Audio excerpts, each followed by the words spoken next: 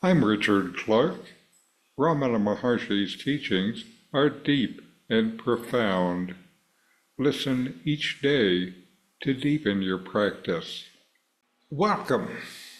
I'm reviewing and commenting on the book Talks with Sri Ramana Maharshi.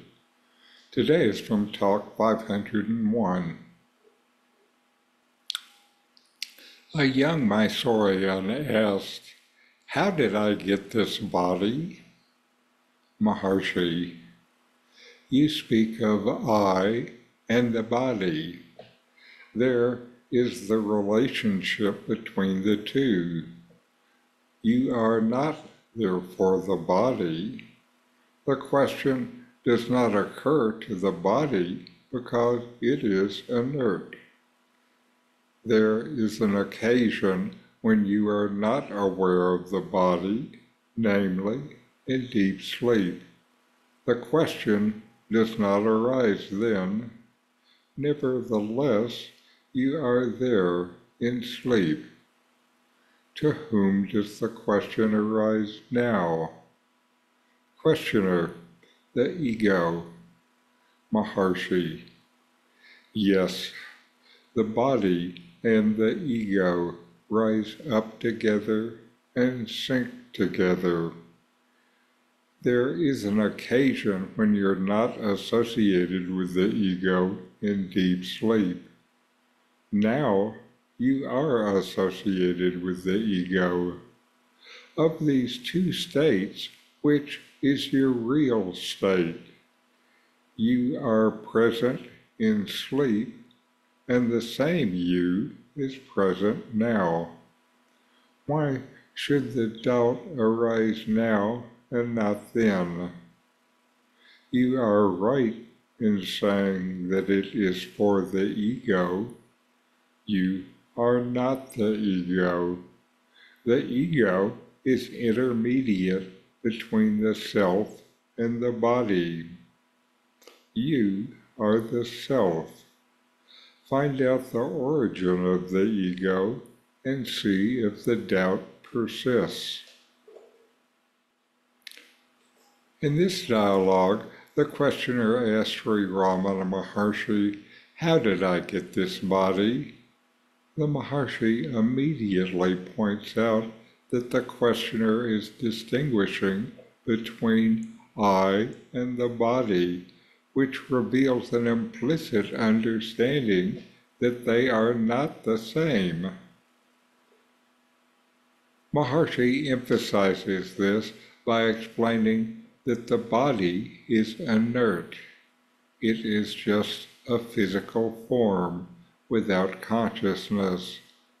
The question of where the body comes from doesn't occur to the body itself because it has no awareness. The Maharshi brings attention to deep sleep, a state where you are completely unaware of the body, yet you still exist. In sleep, the body and the sense of I disappear, but something remains. That is the self which is ever present. This example is meant to show your true nature isn't tied to the body as it continues whether you are aware of the body or not. The question then arises who is asking the question now? The answer is the ego.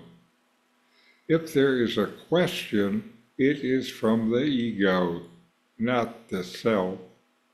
The self has no questions.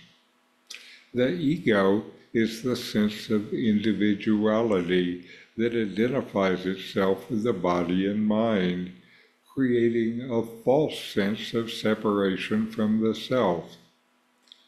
Maharshi explained that both the ego and the body rise and fall together they both disappear in deep sleep and reappear upon waking.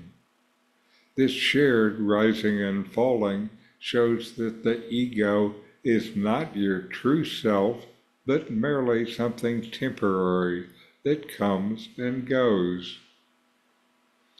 Ramana invites the questioner to reflect on their real state.